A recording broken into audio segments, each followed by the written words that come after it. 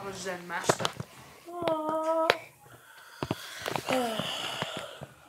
what am I ridiculously good at?